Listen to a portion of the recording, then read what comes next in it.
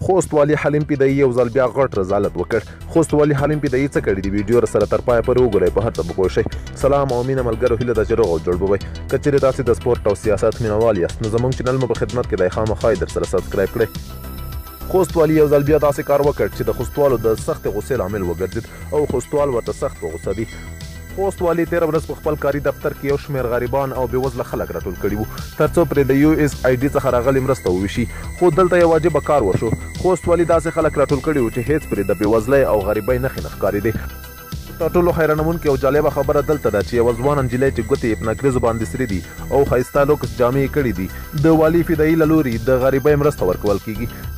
چې د والي فدایي دغه کار د خوستولو له لوري په سختو ټکو سره وغندل شو او د والي په مقابل کې یې سخت غبرګونونه راوپارول دا لومړی وار نه دی چې د خوست والي په مقابل کې دا ډول خبرې کېږي تېر کال هم والي فدایي د سولې د ټیکري په نامه یوه برنامه جوړه کړې وه چې پکې د خوست څخه ځوانې نجلۍ راټولې کړې وې او بیا یې ورته غونډه نیولي وه چې هغه کار هم د خوستوالو له لوري په سختو ټکو سره غندل شوی و. د یادونې وړ ده چې په بار بار سره د خوست ولایت د مدني فعالانو له لوري والي فدایي د اخلاقي فساد په تور تورن شوی دی او والي فدایي څخه یې بار بار غوښتنه هم کړې ده چې ځان اصلاح کړي خو هیڅ چا هم تر اوسه پورې د خوست د مدني فعالانو دغه غږ پورته نه کړ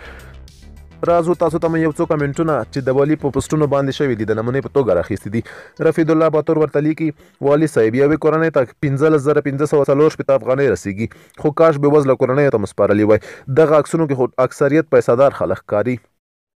رحمان الدين الهام ورته ليکي، اول خو دا امکان نه لري چې تاسو به څلور ميليونه افغانۍ مرسته کړې وي او بل مرسته مو ټول خانانو ته ورکړې ده او له مخلوق نه وېره مه کوئ له خدای جل جلاله ووېرېږئ ظالمانو. اشنا جان ورته ليکي، والي صاحب ما کوم غلط څه نه وو ليکلي نو کامنټ مو ولې رانه ډيليټ کړ هغه عکس مو هم پاک کړی دی.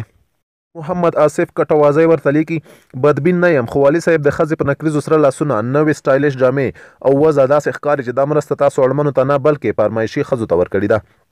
انعام ویسا ورته لیکي، په دې عکسونوکې خو ماته یو هم اړمن نه ښکاري، ممکن ټوله مرسته د روابطو په بنیاد ترسره شوې وي. درمان فاني ورته لیکي، والي صاحب دا کومک دی که د ځان لپاره کمپاین دی؟ باید د غریب سره مرسته پټه وشي، د الله جل جلاله د رضا لپاره باید وي. شمس الله عرفان ورته لیکي، والي صاحب مرستې خو له غریبانو سره نه دي شوي، څوک چې ښکاري ټول شتمن دي یو نیم نه سوا.